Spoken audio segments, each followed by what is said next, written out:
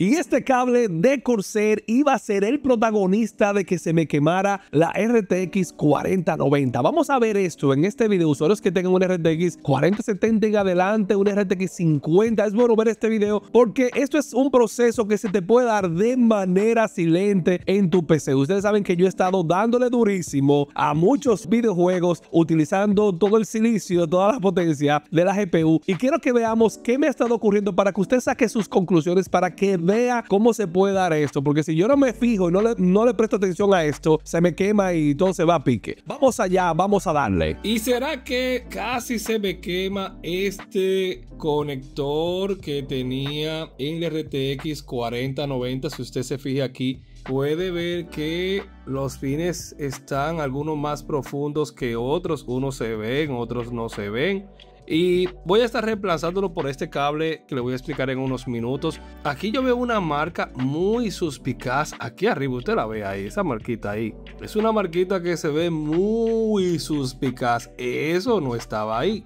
Eso definitivamente no estaba ahí. El conector, mire cómo se ve, cómo se ven las conexiones de este cable. Este es el cable original que trae el Power Supply Corsair RM1000X. Este es un Power Supply, el Swift. Le voy a dejar el link en la descripción de este Power Supply. Y este es tipo 5 PCI 5.0, obviamente y ATX 3.0. Aquí están los terminales. Mira cómo se ven. Los terminales están un poquito. Y mira cómo se ven los terminales que van en el Power Supply. Se ven un poquito eh, feo. No se ve tan coherente. Y vamos a ver el Cable Mode, señores. Este es el Cable Mode. Entonces. Me resulta raro esto, de verdad no dejo de pensar en esto. Deben también saber que este es H.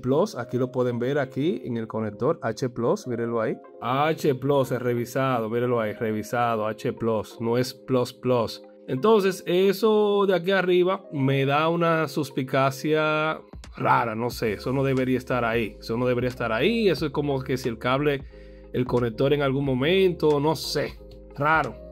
Pero eso definitivamente no estaba ahí. Es un cable que tiene un tiempecito y vamos a poner este de Cable Mod. Este de Cable Mod le voy a explicar algunas cositas para que usted entienda. Este es un cable nuevo que forma parte de la línea Mod Flex. Este tiene la tecnología SteelSense de la gente de Cable Mod. Esto es un cobertor que usted se lo puede quitar. Ahí usted ve el loguito. Eso después hablaremos de esto.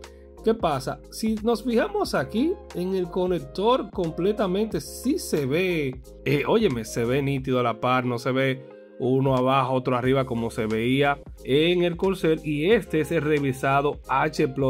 Pero ¿qué pasa? Que es lo interesante de aquí, que tiene una tecnología denominada SteelSense, que supuestamente con este no tienes que cambiar de power supply para tener los beneficios que tiene eh, el cable o un power supply 3.1 con la detección de si hay algo que no esté bien conectado se dispare. También vemos que estos cables tienen este cablecito aquí que es el, sensor que va aquí arriba. Este cable no lo tiene. Ya este sensor lo tendría en el cable. Si se fija aquí arriba aquí es donde está el sensor. Entonces si comparamos uno y otro, aquí usted puede ver las diferencias de los cables. Mira cómo se ve, mira cómo se ven todas las cabecitas arriba cómo se ven todos los conectores y fíjate cómo se desaparece en el Corsair. Hay unos que están más abajo, otros que están arriba. Si te fijas ahí, falta muchísimo.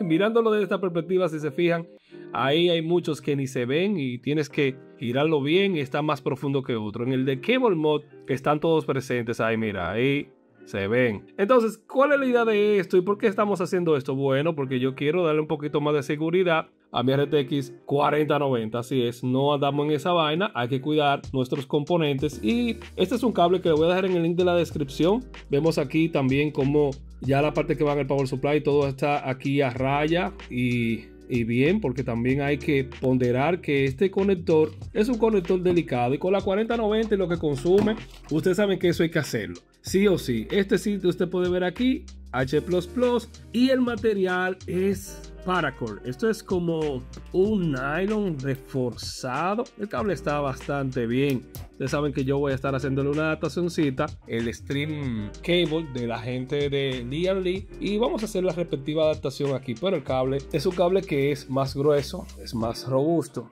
que este otro es más resistente y ciertamente tiene mejor feel. Este es como una especie de cobertor que usted le puede poner, pero en esencia, o sea, si usted quiere, se lo pone, se lo quita. Yo lo voy a poner así mismo para que se vea más bonito, más vistoso. Y la idea es esta. Pero quería mostrarles qué está ocurriendo con estos conectores. Este cable se lanzó en 2025, enero 2025, para la salida de las RTX 50. Ustedes saben, por el tema de los consumos, los voltajes y todo esto, no he utilizado Cable Mod así. Ustedes saben, a mí no me hablen de adaptadores. Yo estoy utilizando este cable porque veo que es una solución atractiva para asegurar esto. Y ya el cable que tengo, los otros días lo chequeé y veo que tiene esa cosita ahí. Tiene esa cosita ahí. Entonces, si se me quema ese cable, se me quebra el cable, el malo soy yo.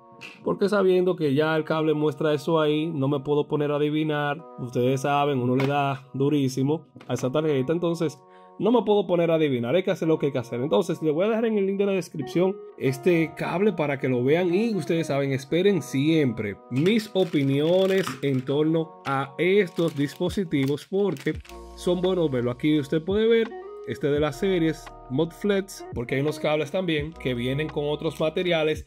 Y también este cable, deben saber que es muy importante, viene diseñado para el Power Supply que tengo Corsair. Hay algunos que vienen para Power Supply MSI, hay otros que son Asus hay otros que son Corsair, hay otros que son MSI y este cable está diseñado para el Power Supply que tengo. De hecho, la versión Swift, este mismo cable es para eso. O sea, la gente de Cable Mod diseñó ese cable para aquellos que tengan ese Power Supply y quieran reemplazarlo y quieran también aprovechar el Power Supply que tiene. No tienen que comprar un Power Supply ATX 3.1. Con este lo pueden hacer tranquilito, sin problemas. Vamos a ver qué tal va. Y luego de hacer múltiples pruebas con el Cyberpunk 2077, todo en ultra tope, vamos a ver el rendimiento de este cable Cable Mod. Estoy utilizando el hardware Info 64. ¿Y qué debemos buscar aquí? Bueno, debemos ir a este apartado donde podemos ver el conector el voltaje que se mantiene aquí. ¿Y que nosotros debemos buscar? Bueno, debemos buscar que se mantenga en los 12 voltios. O sea, el mínimo debe ser 11,4 voltios y el máximo debe ser 12,6. Ahora bien, ¿qué resultados me ha estado brindando este cable? Los siguientes. En promedio se mantiene en 12,093. Máximo alcanza 12,154 voltios y lo mínimo, lo mínimo, o sea, lo mínimo jugando todo ultra a tope, lo mínimo que desciende 11,936 milivoltios. Actualmente en modo reposo se mantiene en 12,9